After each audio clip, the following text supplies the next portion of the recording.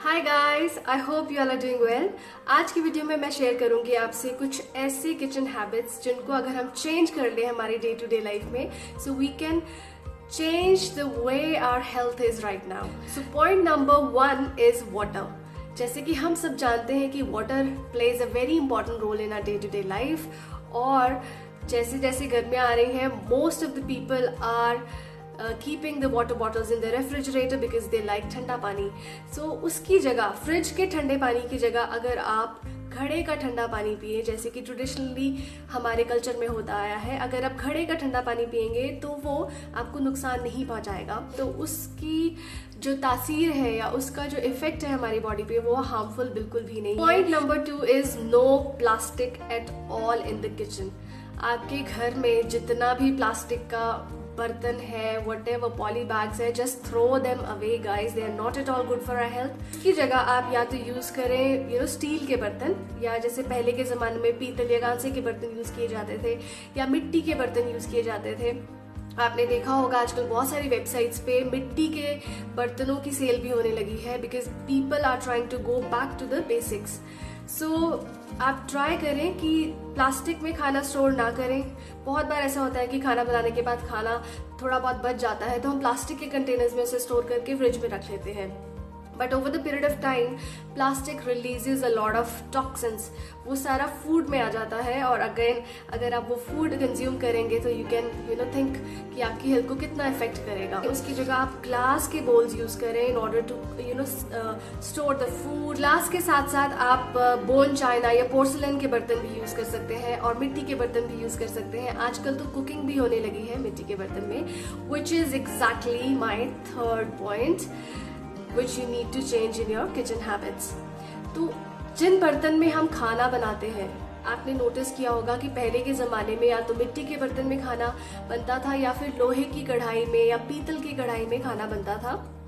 But आजकल market में बहुत सारे ब्रांड्स आ गए हैं जो कि बोलते हैं कि नॉन स्टिक है, तेल कम लगता है। नो no डाउट उनमें तेल थोड़ा सा कम लगता है। बट उनकी जो यू नो टेफलॉन कोटिंग है उनके ऊपर that is so harmful for our health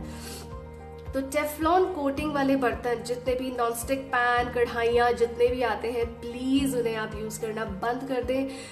जैसे जैसे हम उन्हें यूज़ करते हैं, उनका कुछ ना कुछ केमिकल रिलीज़ हो। प्लास्टिक स्टिक पैंस की जगह आप यूज़ करें लोहे की कढ़ाई। रिसर्चर्स का कहना है कि अगर हम लोहे की कढ़ाई, यानी कि आयरन वेसल जो होता है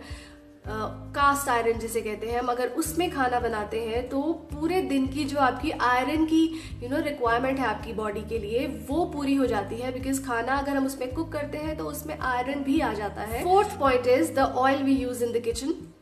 हर स्टेट का, हर कंट्री का अपना एक अलग क्लाइमेट है, उनकी जो सॉइल है, उन, उनका जो फर्टिलाइजेशन वैल्यू है उस सॉइल की is different from one place to another place तो आजकल क्या हो रहा है कि बहुत सारे एड्स देखकर या आर्टिकल्स पढ़ के या लोगों की बातें सुनकर we are just going mad about olive oil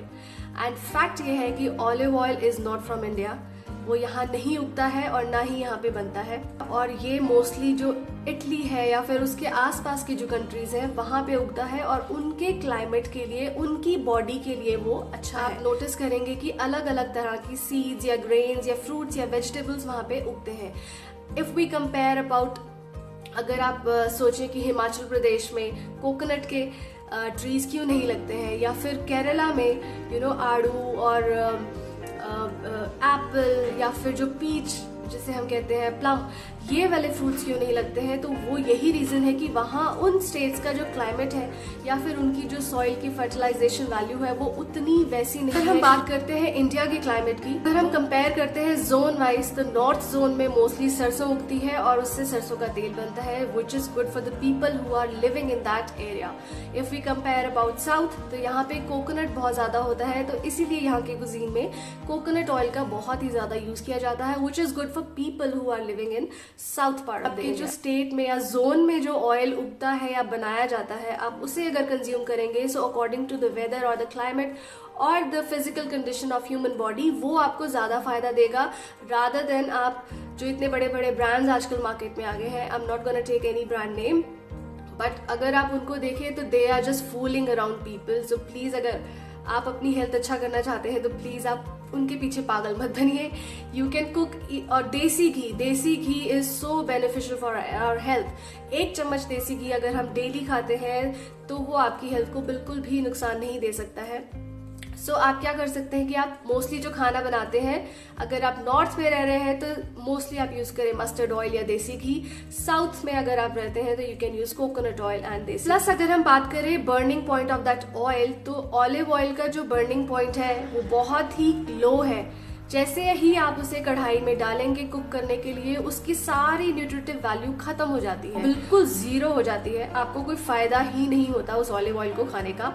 तो अगर आप ऑलिव ऑयल खाना भी चाहते हैं तो आप उसे सैलड में या फिर यू नो सब्ज़ी में ऊपर से डाल के खाएँ, कच्चा खाएँ उसे, क्योंकि उसका burning point is very low उसे हम ज़्यादा हीट करके कुकिंग नहीं कर सकते हैं। And if you talk about mustard oil और कोकोनट ऑयल तो इनका जो बर्निंग पॉइंट है ये बहुत ही हाई है। वो धीरे धीरे गर्म होता है ऑयल और जैसे जैसे हम उसमें सब्ज़ियाँ ऐड करते हैं या फिर उसके बाद वाटर ऐड कर देते हैं सब्जियों को गलाने के लिए तो उसका जो हाईएस्ट पॉइंट है बर्निंग पॉइंट वो अचीव नहीं होता है। तो उसकी जो ऑयल की न्यूट्रिटिव वैल्यू है वो फ़ूड में रहती है। उतनी ज़्यादा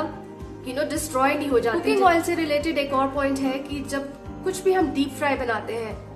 तो क्या होता है कि बहुत सारा तेल डलता है कढ़ाई में। सपोज़ हमने पूड़ियाँ बनाई या हमने पकौड़े बनाए तो उसके लिए ऑब्वियसली तेल ज़्यादा डलता है। और जब एक बार वो गर्म हो जाता है, खाना उसमें बन जाता है तो उस तेल को ठंडा करके मोस्टली हमारी क्या आदत होती है कि हम उसे स्टोर कर लेते हैं और फर्दर हम उसमें ही उसी ऑयल में कुकिंग करना चाहते हैं बिकॉज़ यू नो दिल घटता है कि आप इतना सारा ऑयल आप फेंक दें। तो trust me guys I would suggest you कि आप दिल पे पत्थर रख के उस ऑयल को आप उठा के फेंक दें, क्योंकि एक बार अगर